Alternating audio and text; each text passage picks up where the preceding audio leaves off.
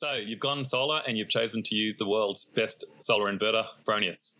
This video is going to show you how to use Fronius's online monitoring platform called SolarWeb so that you can ensure that your system is producing as it should and saving you as much money as it should. It's not going to go into the details of the extra benefits that you get from installing a Fronius smart meter. That'll be for the next video.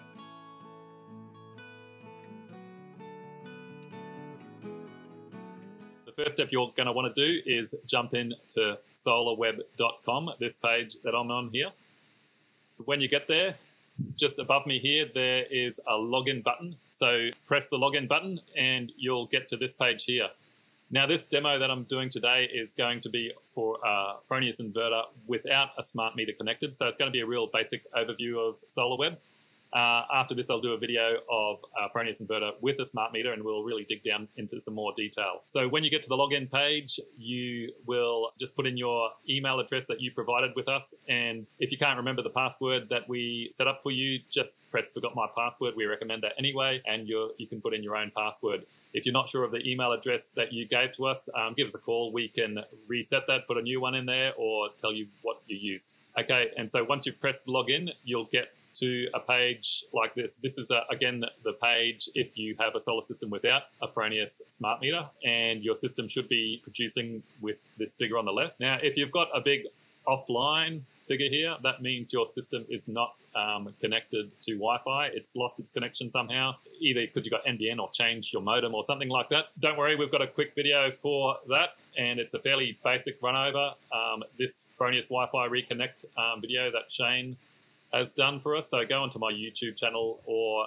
click on the link above me now and that'll take you through and tell you how to reconnect. Okay, I'll just go back to the system and it's around about two o'clock, just after two o'clock in the afternoon and it's producing 1.5 kilowatts. It's a bit of an overcast day. This system has got nine kilowatts of panels on an 8.2 kilowatt inverter. Um, so it's not exactly cranking, a bit of cloud cover at the moment. That data updates every five seconds or so, so it's fairly accurate. Now, this system, again, doesn't tell you how much power you're sending to the grid and how much you're using in your home. You need a Fronius smart meter to do that.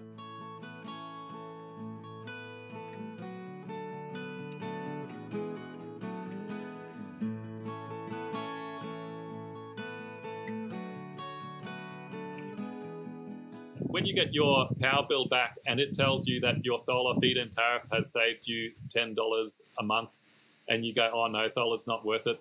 So many people get this wrong. That $10 a month is the portion that you sent back to the grid. Your utility, Energex or Origin or whoever it is, can not read and understand how much of your solar you've produced that hasn't gone through that their meter. They haven't read that. They don't know. That's the job of a Fronius smart meter.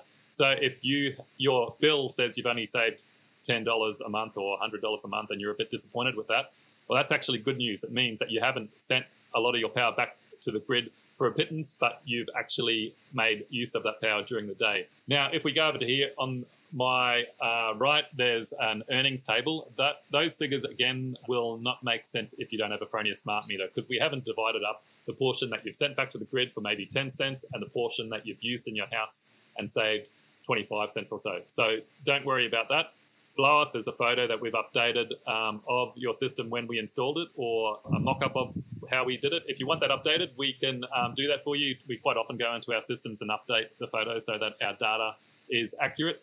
And the weather data down there at the moment is not much use.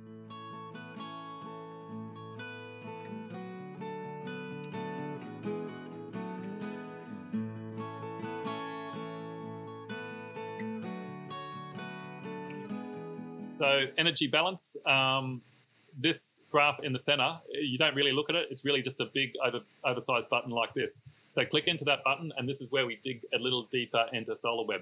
So this is what the system has produced today. Quite an overcast um, day here in Brisbane, so the power production has gone all over the place.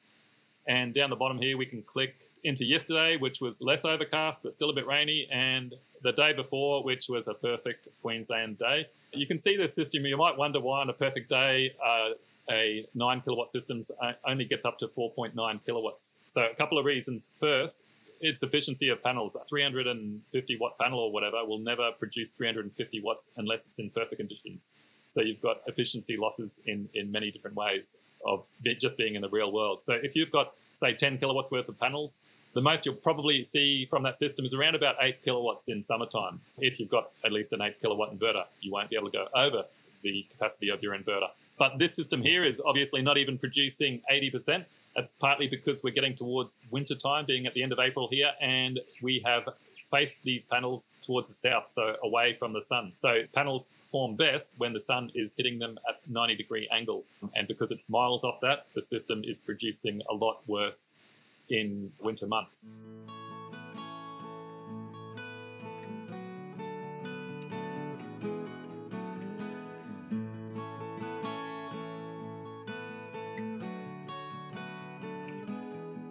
Now, you probably want to go back and see how your system is produced over the year. You can't do that unless you have premium. So this system, we have signed up for premium and we can do that. And the good news is signing up for premium is absolutely free. So there should be a bu uh, button um, above my head if you haven't signed up for premium. We'll give you an example here. A big red premium button um, asking you to hit it and to sign up for premium. Like I said, it's free. You'll just have to go in there, agree to terms and conditions, go to the cart, act as if you're paying it. Don't worry, you don't have to put in any credit card details. It's a grand total of zero pounds. Now, later on, Fronius is probably end of 2020 or or so, Fronius is going to come up with a better premium version that's going to give you a battery sizing tool so you can understand if the battery is going to be worth it for you and weather forecasting information uh, so you can see what your system should be producing tomorrow and in the next week. So that's something to look forward to. But the data that we've got at the moment there's heaps of it, so let's have a little bit more of a look. So down the bottom here, we can click into month. Now that we have premium, and we can see what your system has been producing on average. It sits somewhere between 30 and 40 kilowatt hours in the month of April per day. Now this return on investment, this premium feature, up here and the expense is not relevant to you because you don't have a Fronius smart meter. And so we'll go through that again in the next video. So if we go into year, we can see what the system has produced month by month this year. And then if we click back on the bottom left-hand arrow, we can see how the system has produced over last year, month by month. And again, you can see January it produces so much better that, than it does in July. And this curve is exacerbated um, because, again, this system is facing south. So January systems, if you've got a nice 10 degree pitch roof, the sun in summer is almost directly above your head or even a little bit behind in Brisbane. And so that's very close to a 90 degree angle. So uh, a flat or a, just a little bit south facing system really cranks in summertime. But in wintertime, because the sun is so much lower and the panels are facing the opposite direction, the system really suffers. So for this system, we worked with what we had and we just oversized and put a larger system in than we normally would to make up the difference.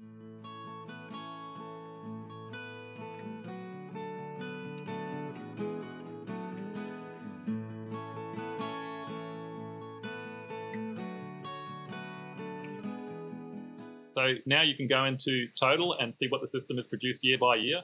And this system last year produced 13.12 megawatt hours. Now, is that good? Yes, it is good. But how do you know? Well, you go into what we sent you out beforehand, and this is a Nearmap tool, the data that we set up and how we predicted your system would perform. Um, before we sold you the system. So we've, we've um, virtually placed the panels on the roof here and put in all the data of the panels and the orientation of the panels and put our efficiency expected with, with dirt and cable losses and everything like that. And we estimated this system would produce around about 11 megawatt hours or 11,679 kilowatt hours over the year. And again, if we go back here in 2019, we produced 13 megawatt hours or 13,120 kilowatt hours.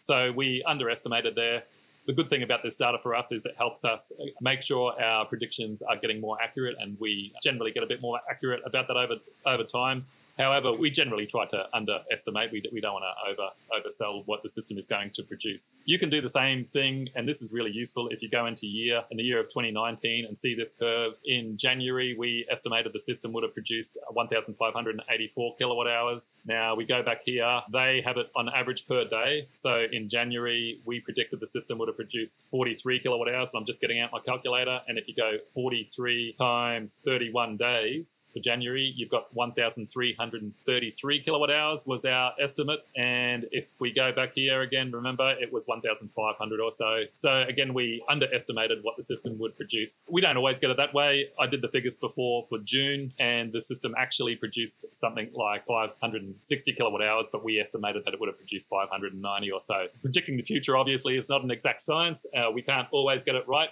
But this will give you an idea of whether there's a problem with your system or it's, you know, whether a tree's growing up or, or there's a problem with your panel.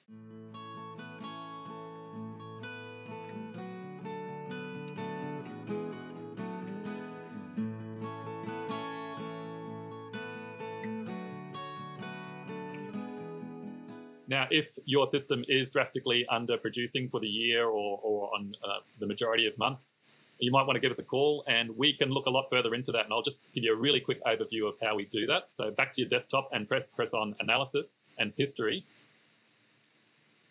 And if you go down there, you have to choose the inverter. If there's a smart meter or more inverters, you can choose all of those. And then channels. And I've already chosen a few channels um, to show us all the different values. And I'm just going to go back to that clear day that we had a couple of days ago. And you can see our charts there which give us our voltage, AC voltage. So is Energex voltage getting too high? We can see the DC voltage at different times of the day and we can see the power of um, the full inverter and each half of the inverter because we break it down into two different strings. And we can find a whole lot of information about there, whether the grid voltage is too high, like I mentioned, whether you've got a smash panel, whether you've got dirt on one panel, whether there's maybe shade on one of your arrays in the afternoon, or whether you've just actually got a fault with an isolator and, and half of your system is out altogether. Uh, another thing we've picked up with this is faulty Tigo optimizers, where we've had a couple of Tigo optimizers on the roof. They've failed and they've actually dragged the system down by 30 volts or so. So we can see that at a point in time, um, the voltage dropped on one tracker by 30 volts, and we pin that down and say that's a failed Tigo. We went through all of our Tigo systems recently and found quite a few of those. Now, I hope that's giving you giving you a little bit of an overview. There's not, to be honest with you, a lot more that you'll want to see in SolarWeb. That's given you a fairly decent overview if you don't have a smart meter. Now, if you do have uh, a Fronius smart meter installed, I'm doing another video about that and it'll give you a lot more detail about how to get this earning figure right and how to look in and see what you have saved over the lifetime of your system. Thanks for watching.